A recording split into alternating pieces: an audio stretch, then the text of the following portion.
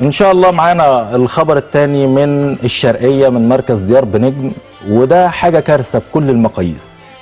كارثة بمعنى آه يعني أنا بطالب بتجريم العقوبات بالنسبة لأي حد يغش في الأكل وفي صحة المواطنين.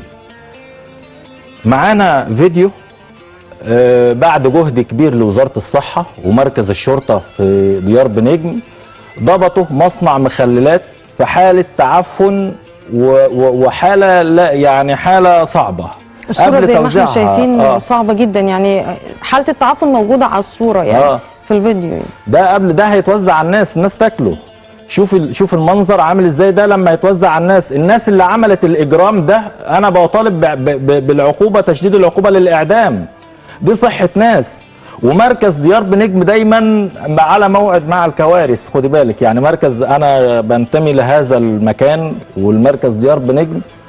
وللأسف إحنا كل فترة بيحصل عندنا كارثة. بيحصل ولكن بعد جهد كبير لوزارة الصحة ومركز الشرطة هناك ضبطوا ضبطوا جر- جريمة زي ديت وضبطوا كارثة إنسانية على صحة الم- المواطنين زي ديت. مشكلة. إحنا يمكن آه، هيبقى معانا كمان آه، الأستاذ حمدي عبد العظيم آه، زميلنا باليوم السابع. يمكن يحكي لنا أكتر عن المضادات وعن ال- آه. المخللات المتعفنة. أيوه يا أستاذ ألو. حمدي. أيوه السلام عليكم. عليكم السلام ورحمة الله وبركاته. أهلا بك يا أستاذ حمدي معانا في البرنامج. أهلا أستاذ ريهام آه، صديقي العزيز الأستاذ حسن يعني موفقين في بكورة البرنامج. إن شاء الله بالتوفيق وإن شاء الله البرنامج يلمس آه، يعني آه، المواطن المصري بشكل حقيقي.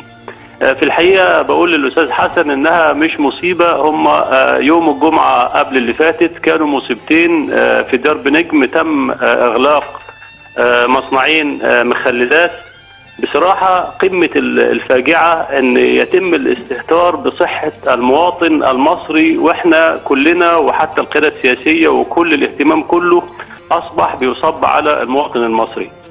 من المفترض أن كل الجهات تعمل وتحذو حذو آه، يعني آه، وزارة الصحة والمتمثلة عندنا في الشرقية في الدكتور هشام مسعود اللي أنا بحييه اللي هو وكيل وزارة الصحة بالشرقية بحييه بصراحة تحية كبيرة جدا. في نفس يوم الجمعة ده اللي هو كان موافق يوم 8 آه، من الشهر الجاري 8 نوفمبر قامت حملة شن حملة موسعة وكبيرة. وهو بيمر في أحد على أحد المصانع امتنع أصحاب المصنع عن افتتاح فتح باب المصنع للحملة فاضطر إن هو يخاطب الشرطة وعلى الفور تم تشكيل قوة من مركز آه، ديار بنجم بصراحة آه، بنحيي الشرطة برضك بشكل كبير جدا. تم افتتاح المصنع وعشان تكون الكارثة والحاجة اللي فعلا تخلي الإنسان يعني ما يعرفش ياكل إيه ويبطل وما ياكلش إيه يعني.